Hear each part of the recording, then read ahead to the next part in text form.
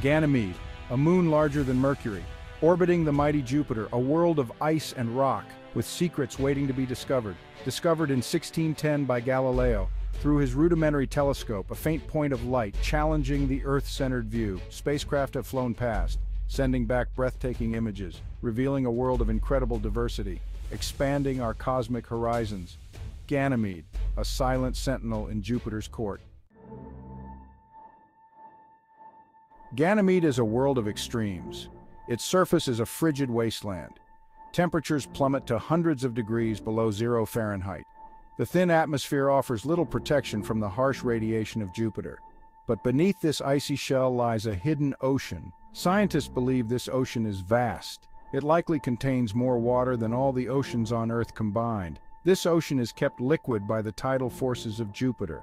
The gravity of the giant planet pulls and stretches Ganymede's interior, generating heat. The existence of this subsurface ocean is tantalizing.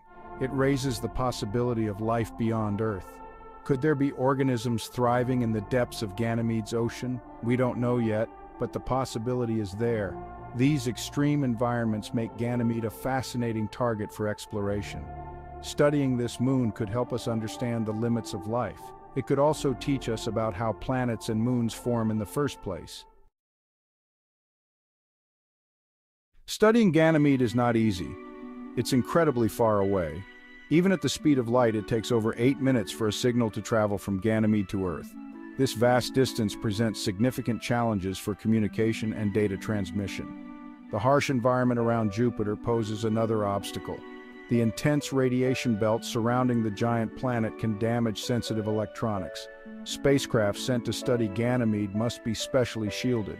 Their instruments must be designed to withstand the intense radiation. Despite these challenges, scientists have persevered. They've developed innovative ways to study Ganymede from afar. One method is to use telescopes in space. These telescopes orbit Earth above the distorting effects of our atmosphere. This allows them to capture much clearer images of Ganymede. Another approach is to send robotic probes to Jupiter. These probes can fly past Ganymede, collecting valuable data about its composition, magnetic field, and the structure of its subsurface ocean. These missions are complex and require years of planning and development but the rewards are worth it. Section 4, Unveiling the Mysteries. Over the years, several missions have ventured to Jupiter and its moons. One of the most successful was the Galileo spacecraft. Galileo orbited Jupiter from 1995 to 2003. During its mission, Galileo made multiple flybys of Ganymede, capturing stunning images of the moon's surface and providing valuable data about its magnetic field and the evidence of a subsurface ocean. Currently, the Juno spacecraft is in orbit around Jupiter. Juno's primary mission is to study Jupiter's atmosphere and interior. However, Juno has also made distant observations of Ganymede, providing further insights into this intriguing moon. In the future, the JUICE mission, which stands for Jupiter Icy Moons Explorer, will focus specifically on Ganymede, Callisto, and Europa. JUICE is expected to launch in the 2020s and arrive at Jupiter in the 2030s. This mission will orbit Ganymede, providing the most detailed study of this moon yet.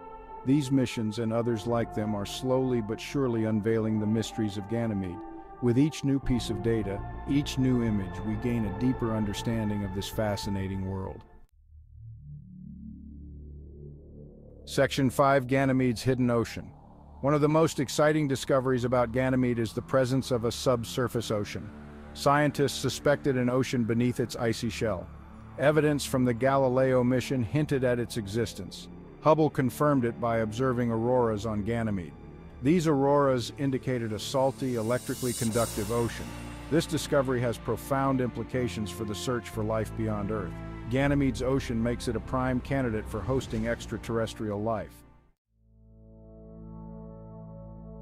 Section 6, A Window into the Solar System. Ganymede is more than just a moon, it's a time capsule. It holds clues to the early solar system. By studying Ganymede, we learn about the conditions when planets were forming. Its surface composition and magnetic field reveal processes that shaped our solar system. Certain minerals suggest Ganymede formed in a different part of the solar system. Studying its interaction with Jupiter's magnetosphere helps us understand planet-moon relationships. As we explore Ganymede, we make exciting discoveries. Once a faint point in Galileo's telescope, Ganymede now fascinates scientists and space enthusiasts.